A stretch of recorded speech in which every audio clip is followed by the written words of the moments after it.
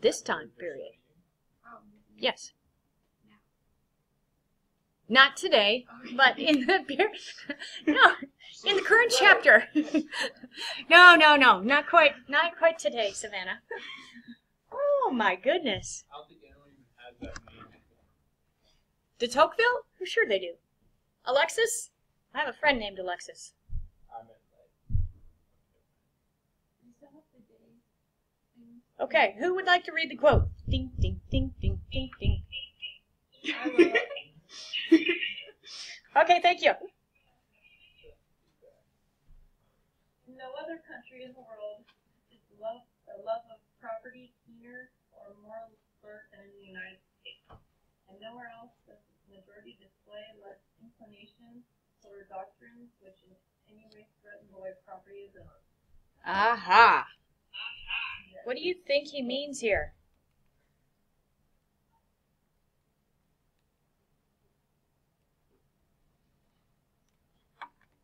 Americans are special.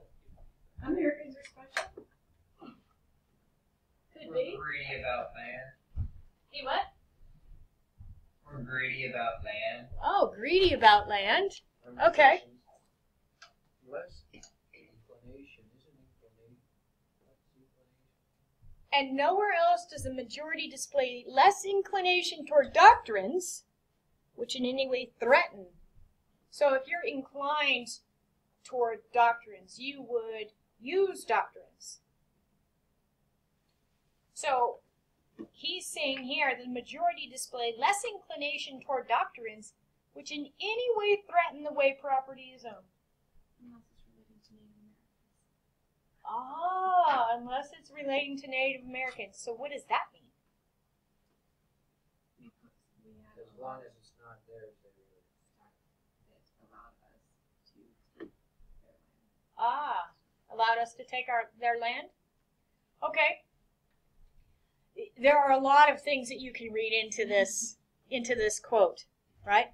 But what's important is that this person who comes from outside of the United States is talking about the love of property. Okay, the love of land. All right? And this relates not just to this time period, but think about relating to um, the time period of today. And land today in Alaska, especially.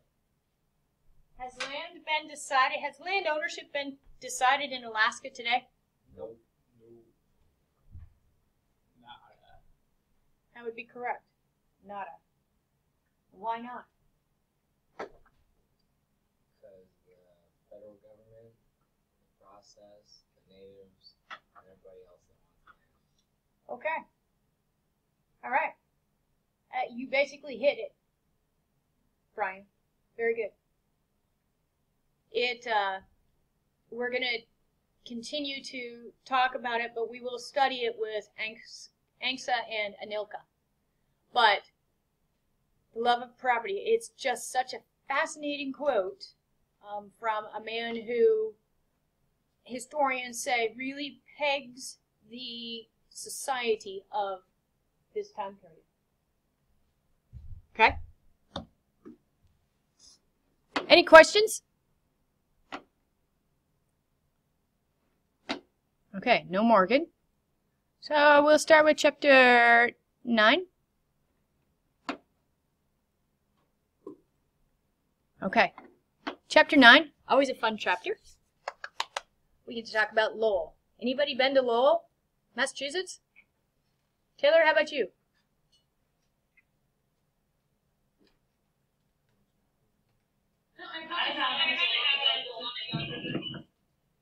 Taylor hasn't. Robin, did you say something?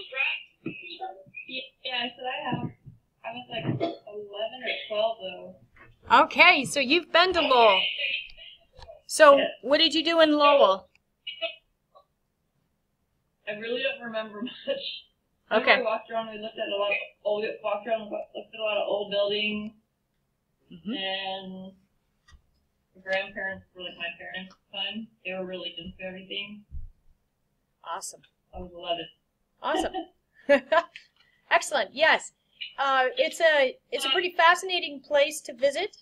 They have a what they call a cultural history national park in Lowell, and so it's it's just a, a really neat place that you can explore. It's outside of Boston. Oh, I don't know how far.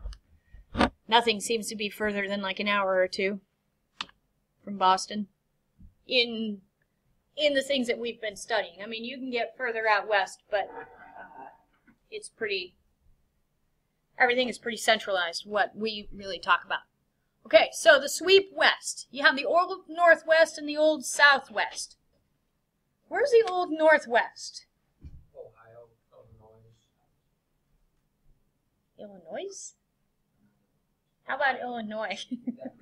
Ohio around Michigan. Um, basically,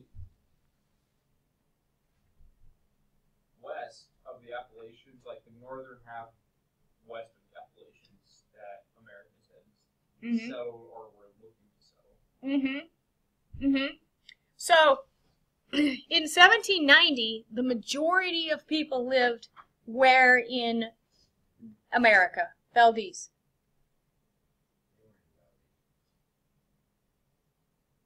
Thank you, Brian.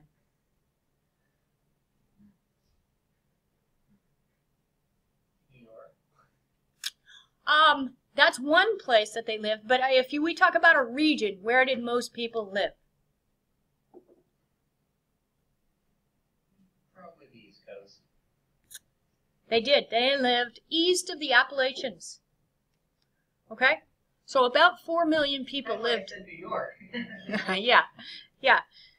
Lived east of the Appalachians. Okay, by in 1790. By 1840, about a third of them lived between the Appalachians and the Mississippi River. Okay, think of the, the you think about mass migrations, okay, and mass immigrations. Think of that migration west of the Appalachians. A third of what was the population? Several million. Yeah, about 17 million by this time, by 1840. There were only about 4 million people in America in 1790. That, okay? So the, the increase in population is dramatic, and the fact that about 17 million people had moved west of the Appalachians. Okay, but who owned the land there? Ah, they had owned the land. Right? Well, and and there was a there was a not an argument, but they definitely had some conflicts about who did own the land, right? And who could claim the land and where could people could go. So, most of the people desired a better life than what they had had. Okay? Is that uncommon from today? I hear a no. You think it's pretty common worldwide? Yeah. Look at all the refugees. Look at the Syrian refugees today. Right? What about the Syrian refugees today? One of the students happened to bring candy today, so I'm stealing some candy. Huh? Yeah, one, uh, one or two of the students usually bring food. I don't get none of it. Yeah. well, you, you should be sitting here in the classroom with them as they eat their lunch. I had a phone call, so I missed what you were asking about the Syrian refugees. I watched a lot about about that. I was making a Analogy. an analogy between the Syrian refugees today and the fact that most of the people who were moving out west really wanted a better life. Okay, that was one of the main reasons that they kept moving west. They wanted a better life than they, that they had in the east. There was more land. They could potentially grow better crops, more bountiful crops. Okay? So, So, Well, I see the people that were moving west, I get they they got treated a heck of a lot better than the Syri- Syrian ref- refugees are being treated right now. Ah, yes. But the Syrian refugees are looking for a better life, and that's that's basically the the crux of of the comment there. Yes, if we got into um, treatment and reasons why they were moving, that it would certainly be different. Okay, so by 1803, if you look at the number of states, so Vermont comes in at 1791. When was this country started with George Washington as the first president? Yes! March third, right?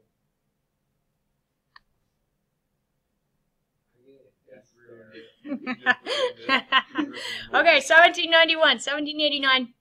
So Kentucky comes in at 1792. Tennessee comes in in 1796, and Ohio comes in in 1803. All right, so remember Ohio. Remember um, Harrison, okay? And Ohio and Illinois and how these things are uh, are changing. Really, what's happening with this westward expansion, you're going to start seeing, okay, um, a lot more states. So you have Indiana in 1816, Mississippi 1817, Illinois 1818, Alabama in 1819, Maine in 1820, and Missouri in 1821. And remember the reason for Maine and Missouri, right? What's the what's the catalyst for Maine and Missouri? One was a slave state, one was a free state, but what was the major legislation that dealt with Maine and Missouri?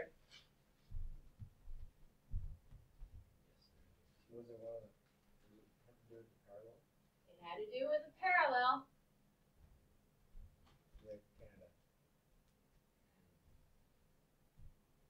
Not quite. It's called what? Oh, you guys have to remember something. Come on. Could you repeat the question? What was a major piece of legislation that went with Maine and Missouri? Yes, the Missouri Compromise. Thank you. Missouri Compromise. Were people happy with the Missouri Compromise? Many people were extremely unhappy with the Missouri Compromise. But it kept the nation together and it helped settle some of the um, issues. It was seen as a southern uh, win, I guess, but in the northern states, there was no more. There were no more slave states being allowed in the Louisiana Purchase. Okay, so the migrants that were coming in were had their own um, values and customs, and they brought those with them. Do migrants normally bring their own values and customs with them? Oh yeah. They do? Okay. Would you agree, Emmanuel? If they didn't, we wouldn't have the West we do now. Very good. You're right. They often do.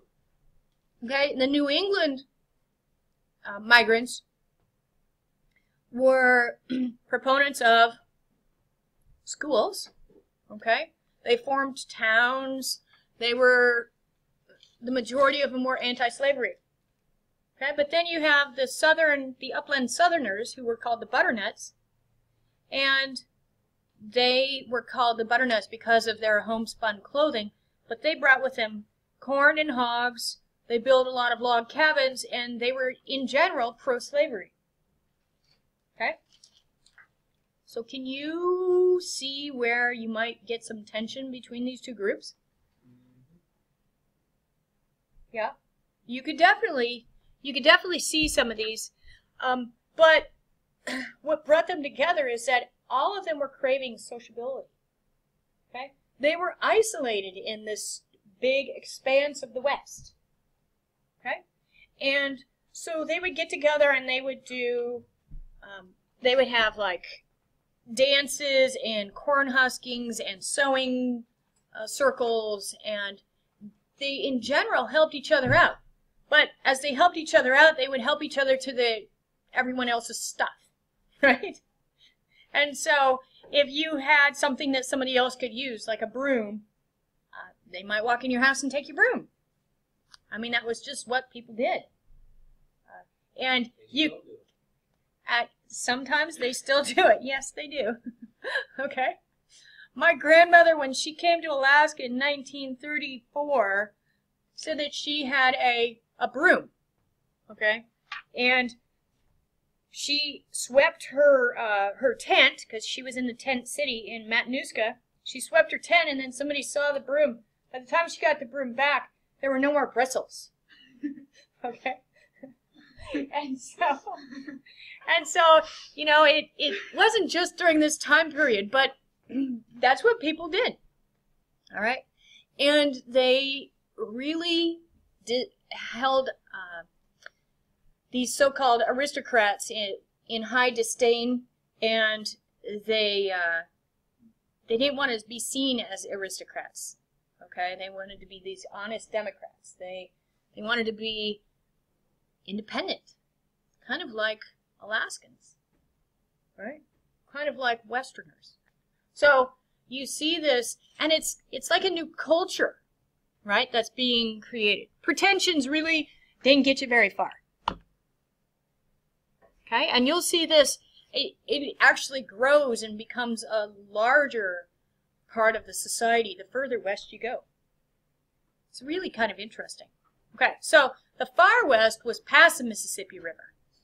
All right, and you had some people headed out there. You had uh, like John Jacob Astor, who went fur trading out on the Columbia River in Oregon.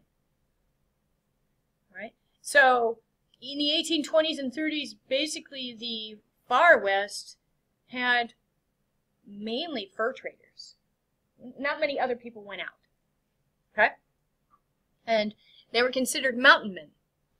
And they gained a, a reputation for being mountain men. Right? So the federal government in the West, the federal government's really seen as one of the causes of the expansion in the West.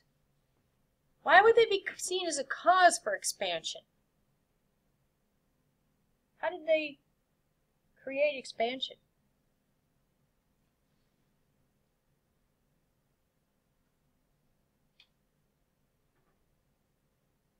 Well, eventually railroads. Eventually railroads Eventually railroads and canals. Okay. But how about these things listed here? Land Ordinance, the Northwest, Northwest Ordinance, the Louisiana Purchase, Transcontinental, oh, I can't even talk today, Transcontinental Treaty, and National Road. Did any of these cause expansion? Mm-hmm. Dramatic. Dramatic Okay. promised people who served in the War of eighteen twelve that they would get an allotted number of acres. Yes. land to veterans. Okay?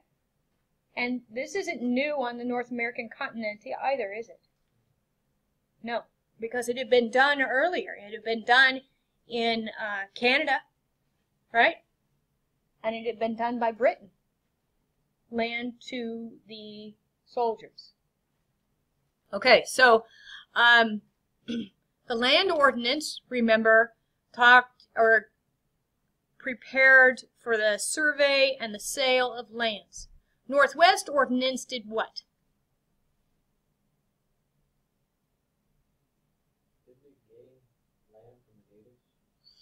Mm, not quite.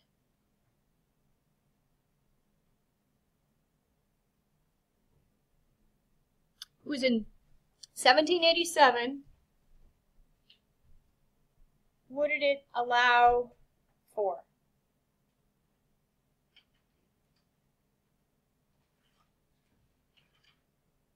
Society to build in the West.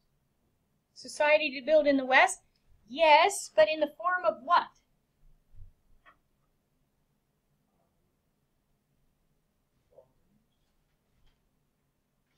Think boundaries. States. Yes. How to create states. Okay? Oh, is that where they like divvied it all up and all these, there was all the different states that laid claim on? Um, this one outlines how you can become a state. Okay? All right. So, the Louisiana Purchase in 1803 meant the entire Mississippi River was now under U.S. control, which meant that, hey, we have a way to get our um, our farm supplies to market. It meant that you had um, you had more land, hello, twice as much land, right? But you had it. It was not just a land benefit; it was an economic benefit. Okay, the Transcontinental Treaty.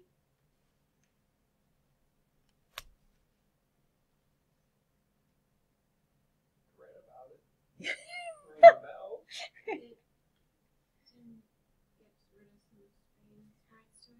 Yes. Thank you, Savannah. Yes. So it wiped out the last of the Spanish uh, power east of the Mississippi River. Very good. Okay, now the national road. If you're lucky enough to drive in Pennsylvania in certain places, you can drive on the national road.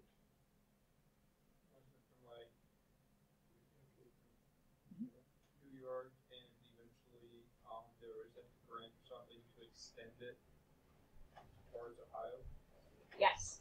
Okay, it started in Cumberland, Maryland, and um, on the Potomac River across the Allegheny Mountains and southwestern Pennsylvania, went to Wheeling, Virginia, which is now Wheeling, West Virginia, okay, on the Ohio River.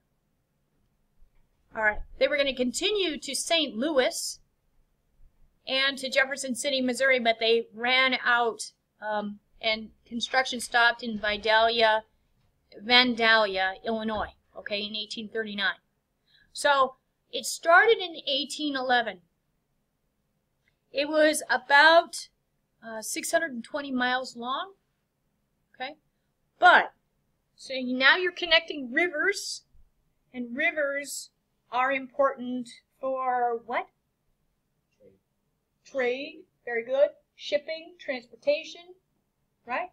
But now you have a road that you could actually follow, and it's it's better than a trail. It's it's not great. I'm telling you, it's not paved. It's not it's not a Roman road, okay? But it's it's a road, and you can travel it. Okay? And this is this is really new, and it's co- pretty controversial because who paid for it? Huh, taxpayers. So the taxpayers pay for a national road. It's only going a certain in a certain area. You know, why didn't it go north of that area? Why didn't it go south of that area? Why couldn't we expand in this state? Right?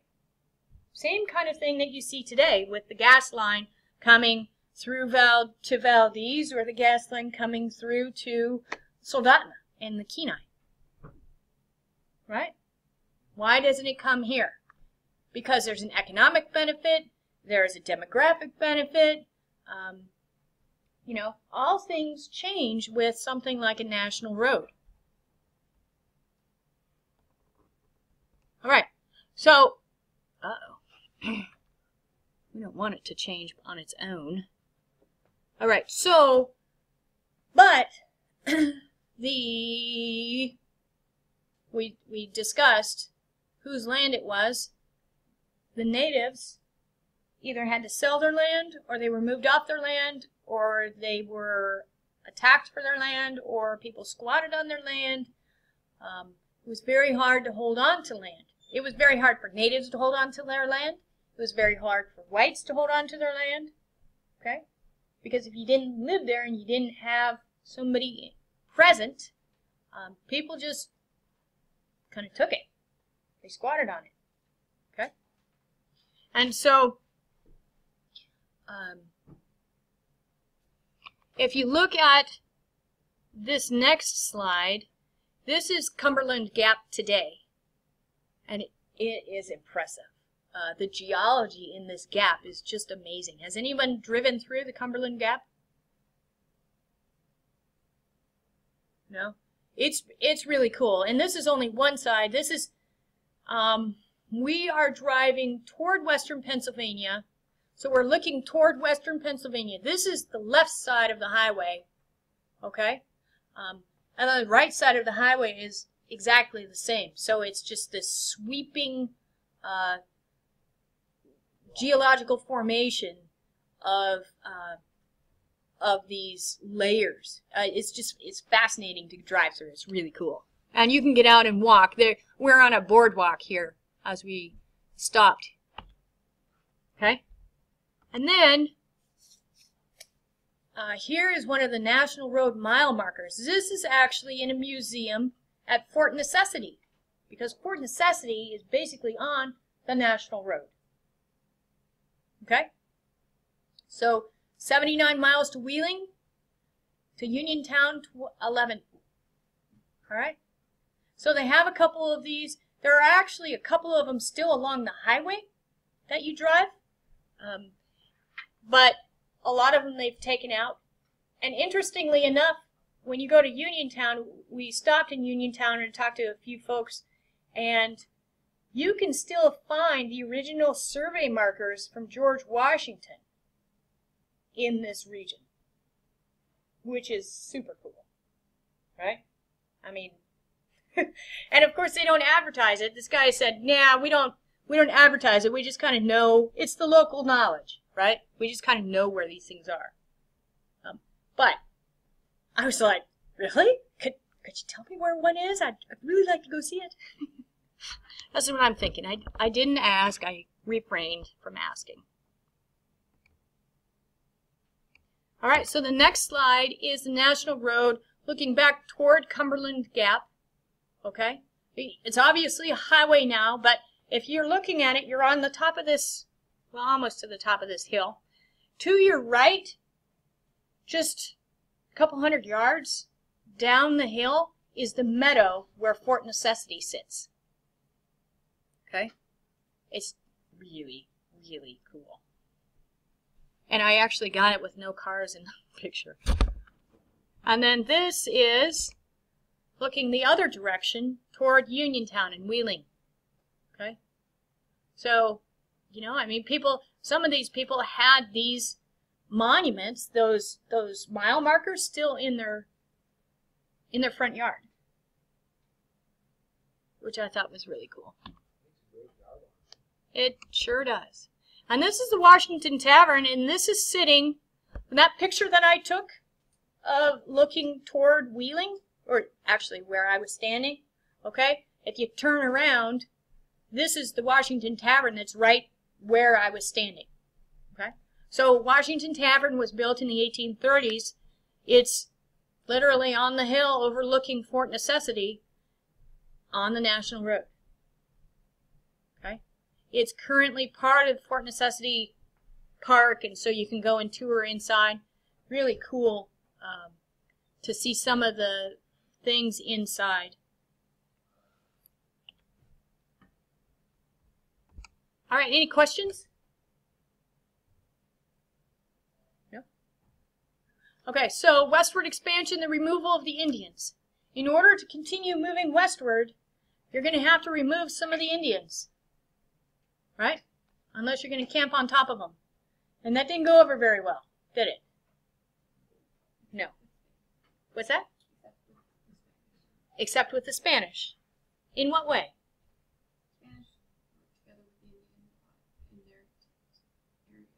They, yeah, they integrated a little bit more. They integrated the two cultures together. Um, much more so than the British, for sure. Yes. Okay, so you have the removal of the Indians. Well, how are you going to get rid of them? How are you going to move them? Where are you going to move them? Move them west. Ah, move them west. Yes, because you've already taken the east, right? So, are you going to trade land? Are you going to buy land? Hmm. Okay, so you have the five civilized tribes, and there are the Cherokees, the Choctaws, the Creeks, the Chickasaws, and the Seminoles. And they're in Southwest, the old Southwest. And some of them, some of the five recognized tribes, civilized tribes, excuse me, are um, really integrated into white society. Okay, they've intermarried. They have uh, they have their own newspaper. They have done a lot of different. They're in uh, they're merchants, and so they buy and sell from from the settlers. Okay, but they're sitting on prime land, especially in Georgia. Okay, and um, in the South, as well as in the North, that land is prime land, and so you know, if somebody's sitting on prime land and you want it, what are you going to do? Kick 'em off and buy it. Kick them off or buy it, okay? Uh, you can you can do a lot of different things. Now, the five civilized tribes.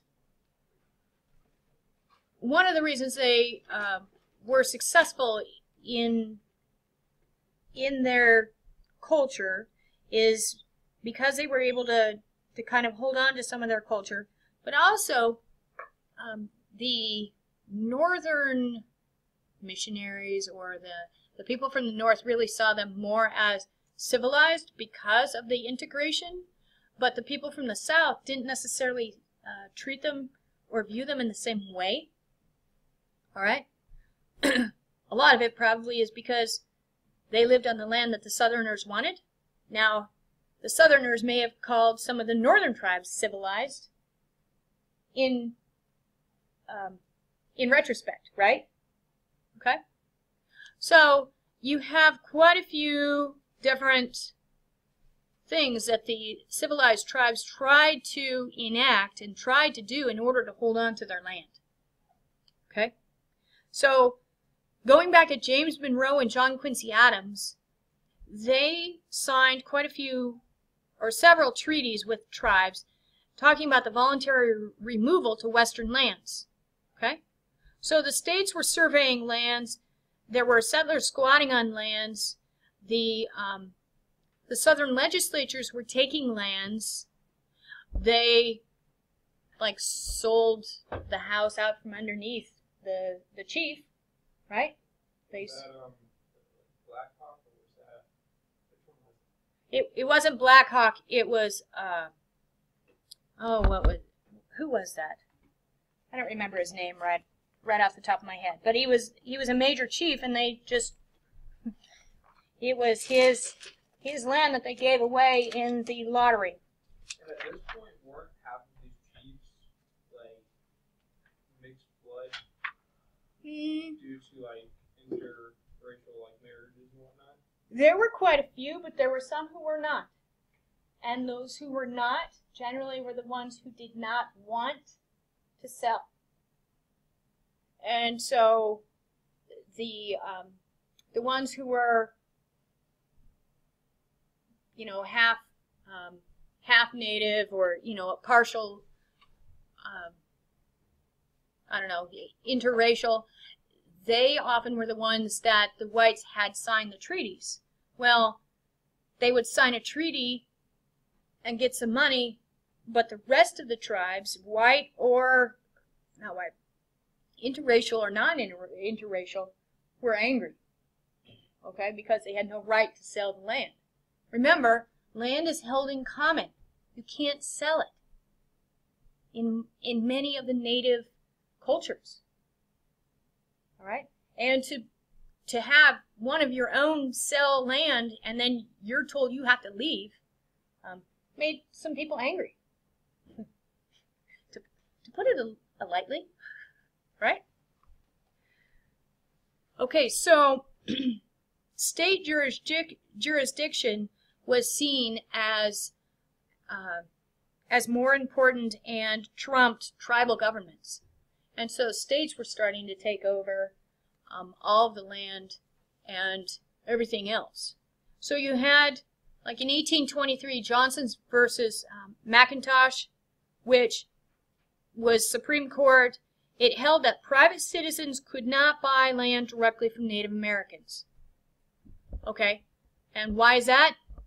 Because Native Americans, and here's a quote, as an inferior race of people without the privilege of citizens and under the perpetual protection and pupillage of the government. Okay, so um, they are not um, responsible for their lands. The Cherokee Nation versus Georgia. All right. Chief Justice John Marshall wrote that the relationship of the tribes to the United States government resembles that of a ward to its guardian. So the United States government is going to become the, the guardian of the tribes in the land. Okay? This is how you see land today. Now, we don't have, it's, it's not exact, but it's setting the precedence for this, okay? Because native allotments and native land on reservations is held in trust by the U.S. government. If you are a native with a native allotment, you cannot sell your land until you go through the Bureau of Indian Affairs and get permission to sell it, even though you own it. You don't really own it because it's held in trust. Okay? And one of the reasons is because so many people were getting cheated out of money. They were selling it not so much here, but they were selling it for, you know, a few bottles of, of alcohol in a lot of cases, especially the further west.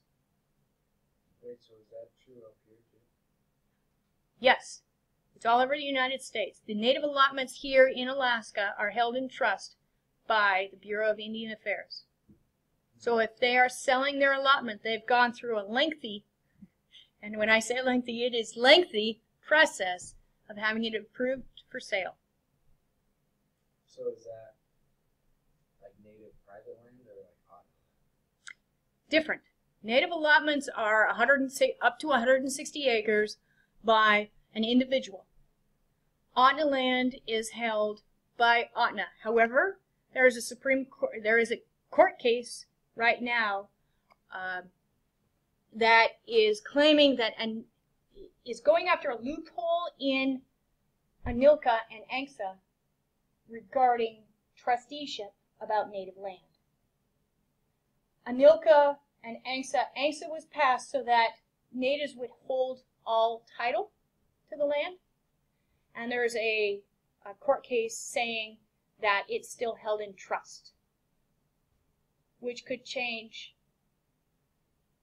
much land status in Alaska, pretty much everything. What would happen? Mm. That's a that is a question that we're going to talk about when we get to ANCSA and ANILCA. Um, but there are so many ramifications from that that you can't you can't really delve into that in chapter nine. okay, but that's a great question, and uh, we will we'll talk about that when we get to that area. Okay, so the Indian Removal Act. You have Andrew Jackson, President Andrew Jackson. President Andrew Jackson is friendly or unfriendly toward Indians. What do you think, Valdez?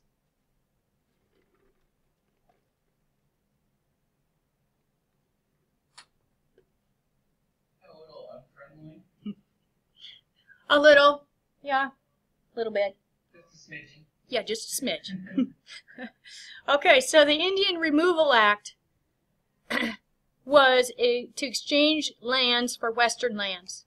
Okay, 100 million acres given in the Southwest for 32 million acres given past the Mississippi River.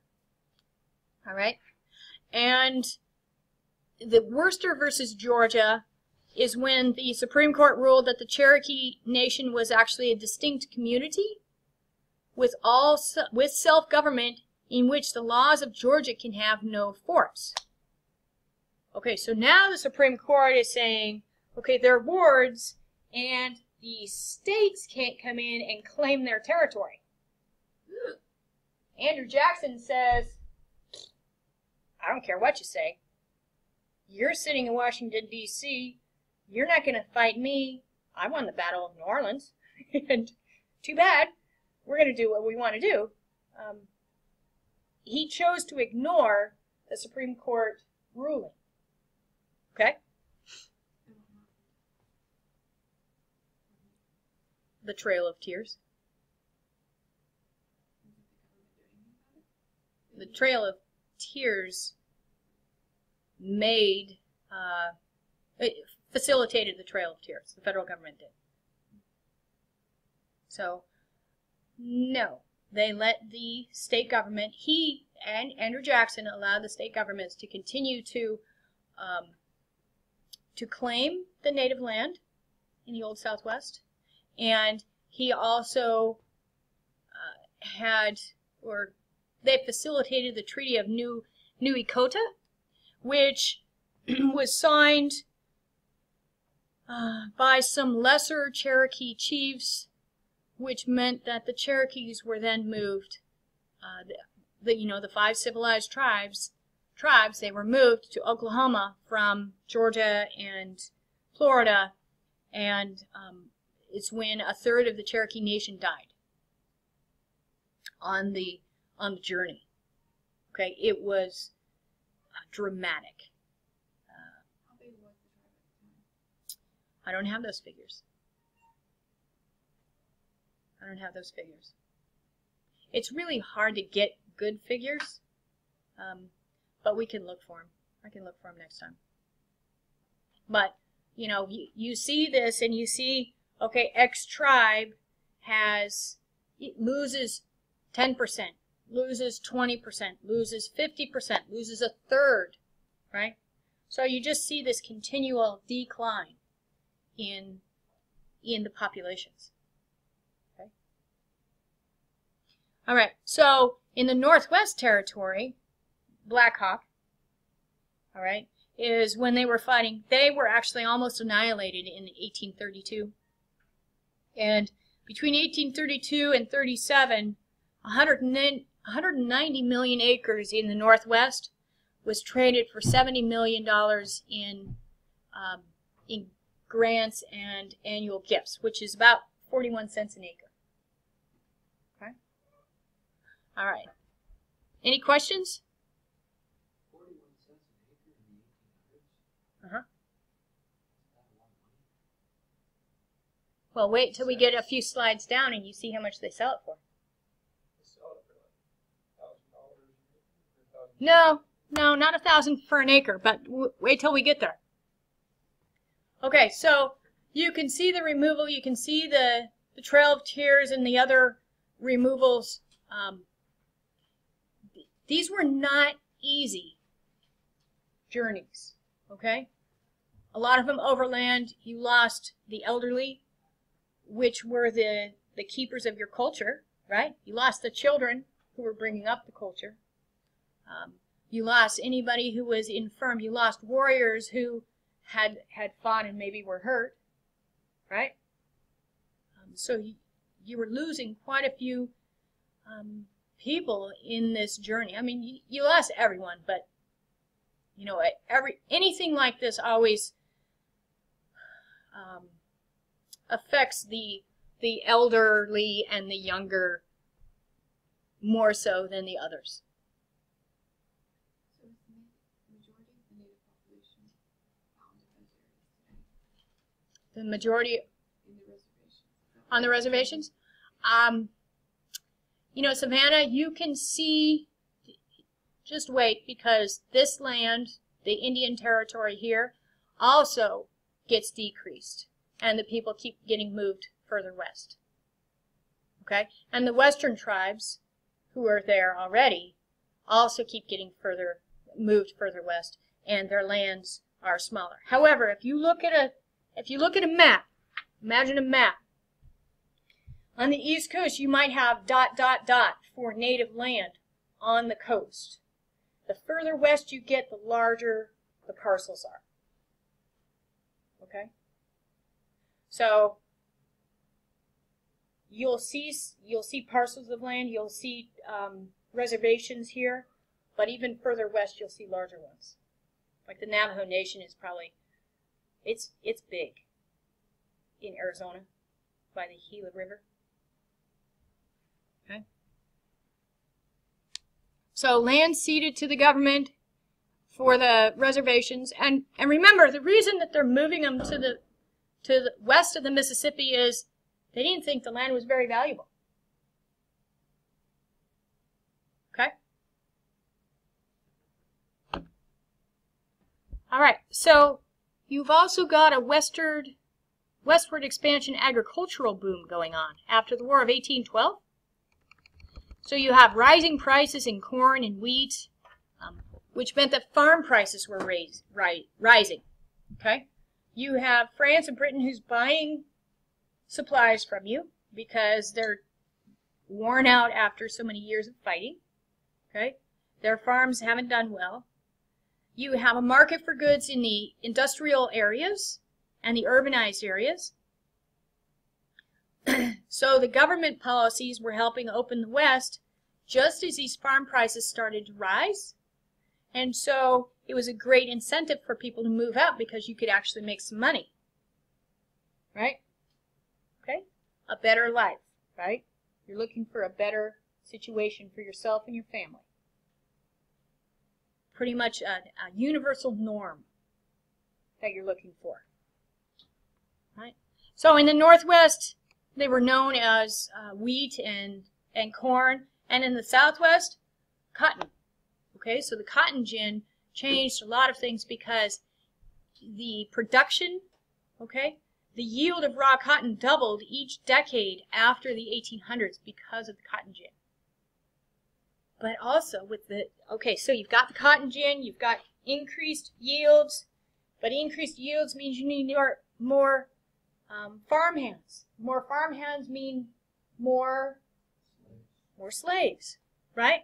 So for everything that's done, you have all these things that follow, right? Slaves actually decreasing before agricultural boom? In the early 1800s, I'd have to look it up, Brian. I don't, I don't remember, because we we get into that further. This book is kind of compartmentalized in a lot of ways, so there were some. I, I would have to look it up again. Okay, so um, tobacco fell in value, but rice exports were good.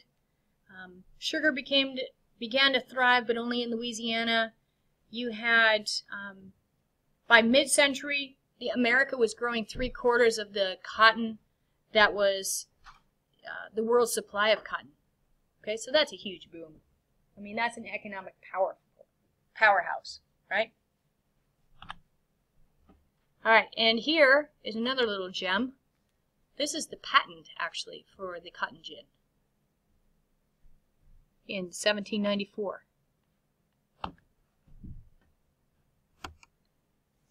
All right, so um, the growth of the market economy. You've got a market economy, which means that people had enough crops that they could sell their extra crops for cash. Okay, it wasn't just subsistence. Remember, in New England, prior to this, they were growing enough to um, to feed their families. Okay, but you're starting to see more of you. You started to see it in the 1700s, where the, they had a little bit, but now you have an economy of scale. Okay, so more people, more states are able to use this as um, selling crops for cash. Okay, At, but one of the things that came from that is that slaves became more valuable. And it forced farmers into debt because farmers often didn't have the cash to buy all the seed, all of the uh, farming implements, the farm, and wait for their cash crop. Right? So you see this debt coming in. They, so they also had to borrow money for the land. So you have uh, the federal land policy that's actually helping this market economy. You've got um, you have them coming in and they're selling, surveying, okay? The, in 1785, with the ordinance of 1785, they were selling and they were surveying townships, okay? Remember townships? Right? Huge parcels of land, 640 acres, okay? And then they divided up into um, down even further, okay? They were selling it for $2 an acre. If they bought it at 41 cents an acre, what kind of a profit was that? That was an enormous profit. Yes. Okay. So not only was this from uh, from natives, but they also had all this land that was ceded by these other states who had claimed it um, after the revolution, right? Remember how they ceded the land? Okay. So they were creating this public domain that could be sold. And this is one of the ways that they were going to finance the, the federal government. And so the Federalists started supporting, um, they really supported selling to wealthy investors who were speculators. And then you had um, speculators who were supposed to sell to the farmers. but they dropped the acreage to 320 acres, so half, and still at $2 an acre. And then they had to drop it to 40 acres for $1.25 an acre. Okay? Still making an enormous profit out of 41 cents an acre for the native lands that they actually bought. As some of the lands they bought for 41 cents. some of the lands were, were even less. Okay? So the public domain lands were selling, but they sold higher at auctions, which makes sense because you have speculators at auctions who can come and drive the bidding up. But the squatters said, we're not going to let you do that. The squatters came and said, who are squatters? Well, what do squatters do?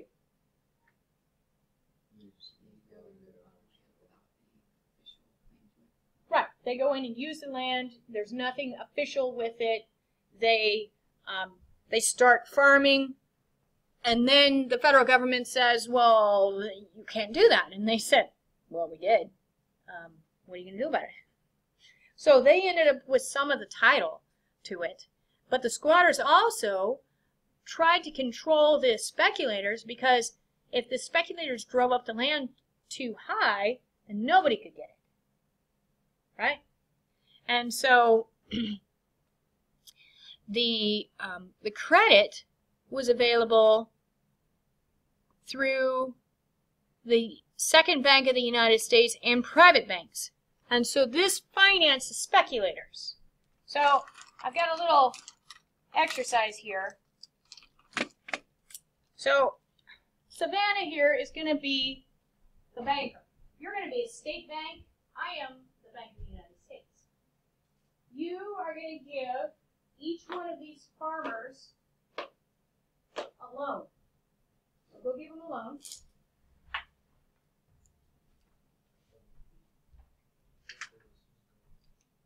you don't like where this is going? Okay. So, um, the farmers hit 1819 and they can't sell anything. Okay? You hit a deep recession in 1819, the panic of 1819. Everybody says, whoa, whoa, we want our money back. So whoever gets to Savannah first gets the specie, which is the gold or silver that she has that you can claim. So you better hurry because somebody's going to lose out. Huh. Okay, so Brian and Garrett got there first. Brianna and Aiden, what happens to them? Uh-huh. So you come to the federal bank, what happens? So?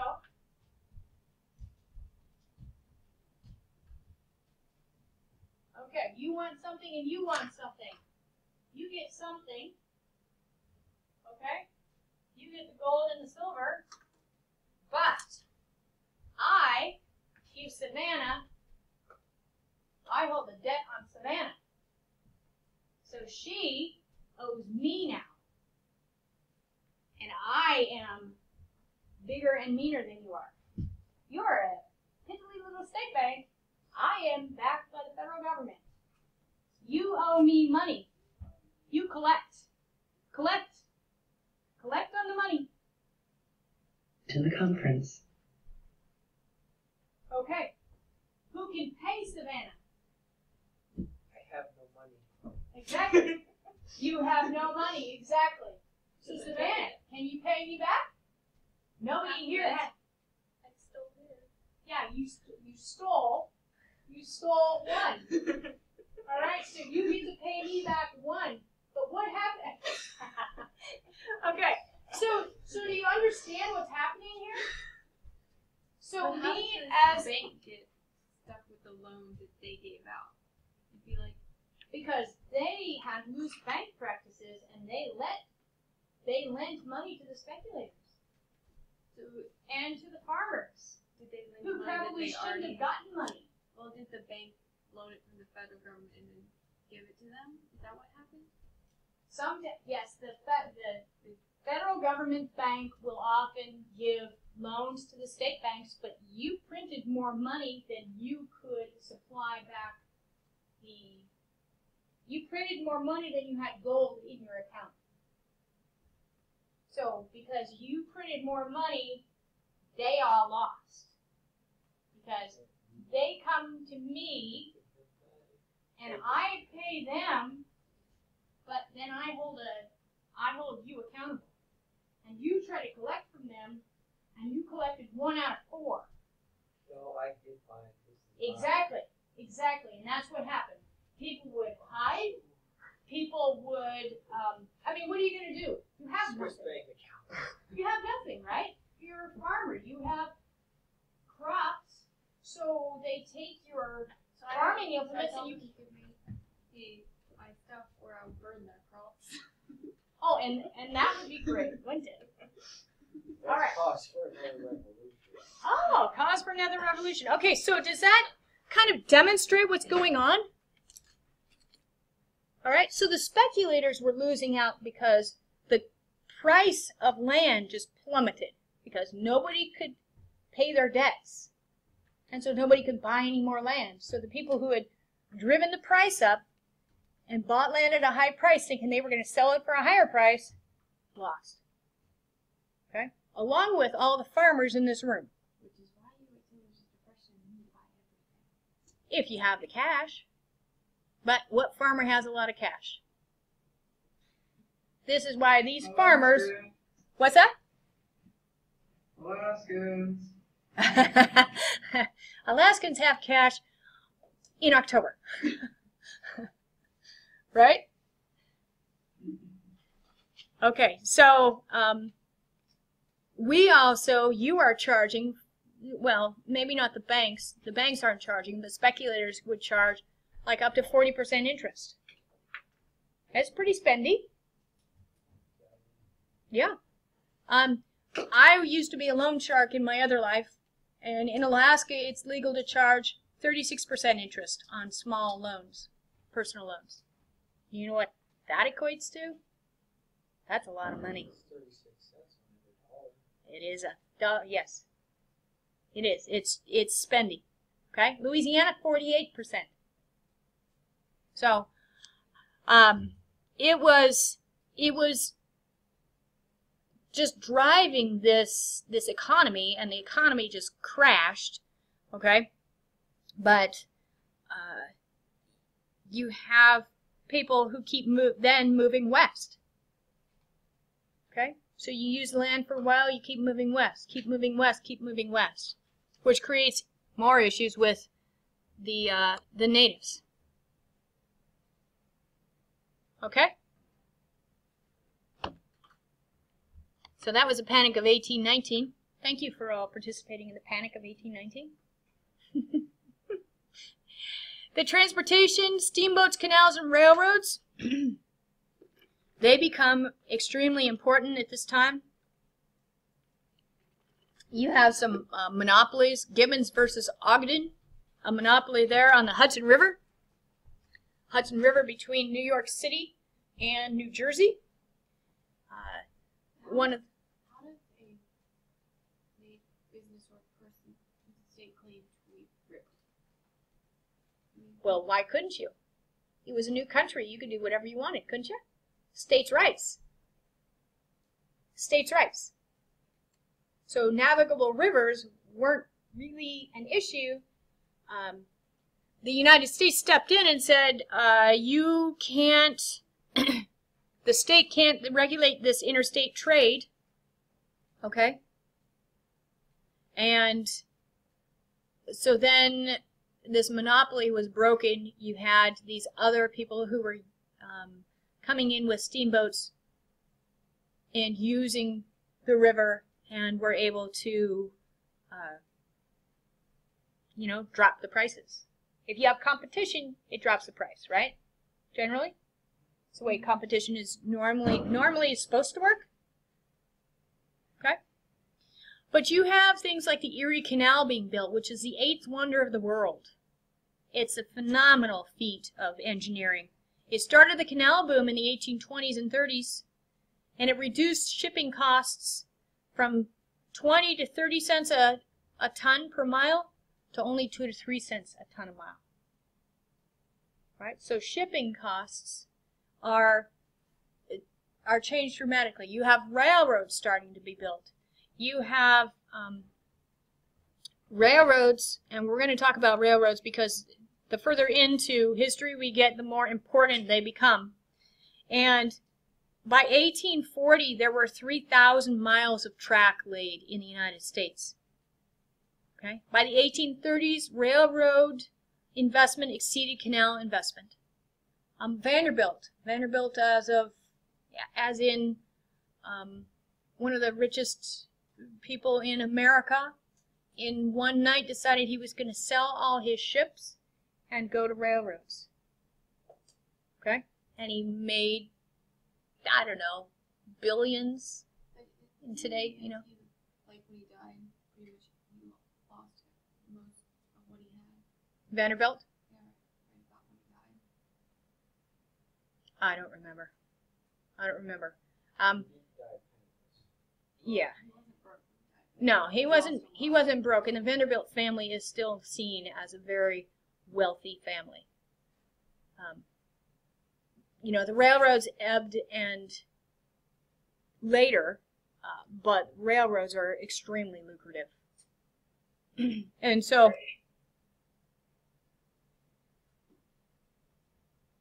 Okay, um, Robin has dropped off. Hold on, let me right back to Robin here. Actually, I, I just got back in right now. Oh, fantastic. Okay. Yay! Yay. Luckily, all this is recorded, so you can go back if you need to. So, I know, I appreciate that. So, yeah. The freight revenues exceeded passenger revenues by 1849, and by 1850, the East Coast had a link to the Great Lakes. And this is significant because you have the American manufacturing belt located on the Great Lakes. Okay? You've got this American manufacturing belt being built right there on the Great Lakes. And you have transportation to get it there. Besides the Erie Canal. Okay? Erie Canal, the canals were a huge boom, and then railroads just blew by them. All right? Um, still at this time,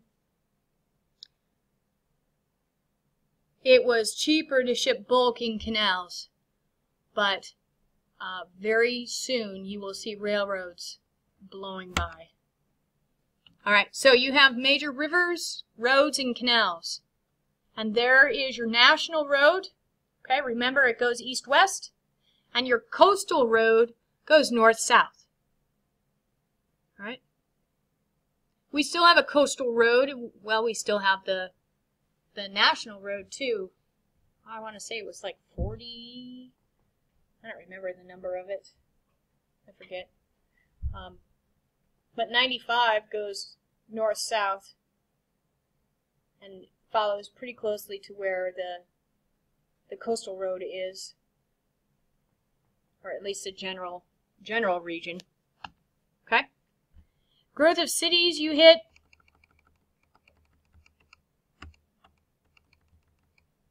You've had this urbanization because transportation speeded it up. Right? Because you needed more people in the cities to uh, take care of the shipping, to you know, build in the manufacturing plants, right?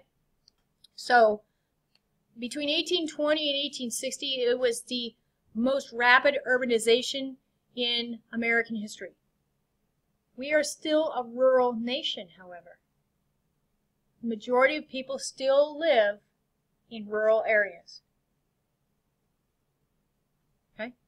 But the transportation revolution shifted the economies and the economies started um, growing more in the cities than anywhere else. Okay? But you've got the canals who shifted economy toward the Great Lakes, and population now are from the river cities to the lake cities, which are becoming more important because they're along that uh, American manufacturing belt.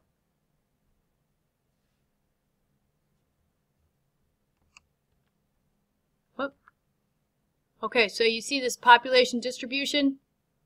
Look how fast this has happened. In six, this is 60 years. Seriously. 60 years. Yeah. Okay, and look at the urban population.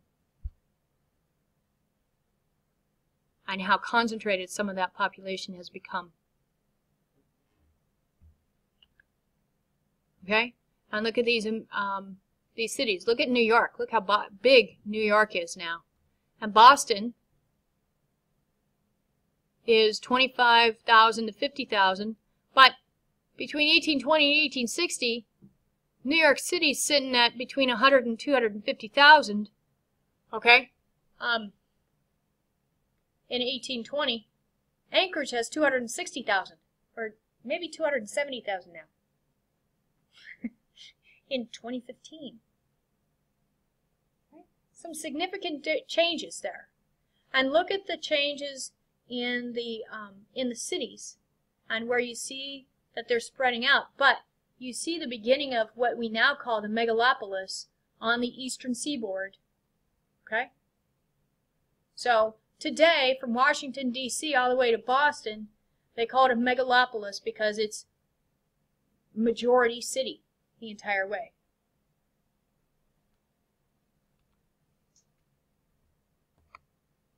Okay, so the industrialization, we were about a generation behind England because England wouldn't let the skilled labor leave. But because of the Embargo Act of 1807, we have more money to start manufacturing. Remember how I mentioned that last class? Okay? So we have this industrialization. These, especially near the city of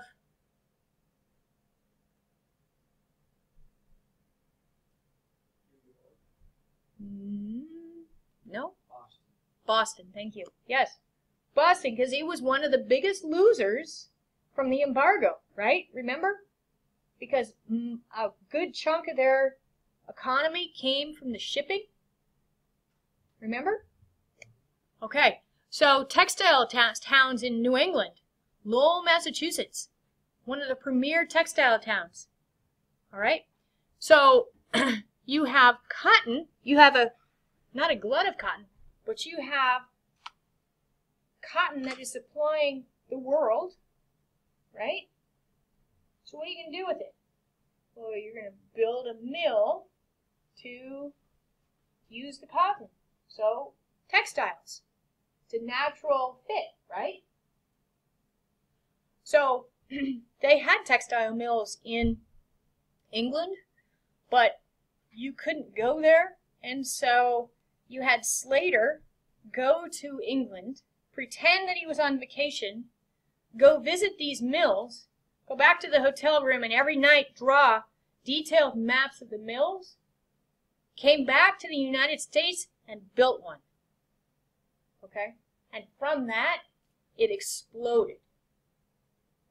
Lowell, Massachusetts ended up being the second large, having the second largest population in Massachusetts, behind Boston.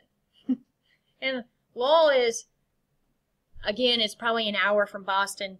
Um, it was the first planned industrial city in America. And it was founded in 1821 and 1822 specifically to um, create this industry. Right? And so they recruited women and girls. I mean, they were young kids, kids, you know, six, seven, eight. And they recruited them off the farms. The women left the farms because they thought they could do better in the mill. Okay, they had an opportunity to get out. All right? And so they would go and work in these mills. The mills were really uh, strict in dealing with the, the girls. They required them to attend church. They had to live in their housing. They could only do certain things. Um, they had to show up for work at X, X uh, hour. And they, they changed the system from working on a farm, which you get up with the sun, you work, um, but you can set your own you really can set your own agenda, right? You work in a mill and you no longer set your own agenda. You will work by the clock. And so this was a, a psychological and philosophical shift, okay? That changed and uh, such a dramatic shift, a philosophical shift, um, changes not just that person, but changes society in ways that they never expected. Because it was easier to control. Savannah asked why they regimented it so much. And in order for them to lure, not lure, but attract girls and women, and the families to allow the girls and women to come to Lowell and work, they said, this is what we do, and your girls will be safe. Okay? Your girls will be taken care of. And it, it's important to know, and also to know that your daughters are going to have an opportunity to, um, you know, not get into trouble. Does that make sense? Okay. So, it was by 1850 that Lowell became the second largest population in Massachusetts. They employed more than 10,000 uh, women and girls. Okay? They had 33,000 people there.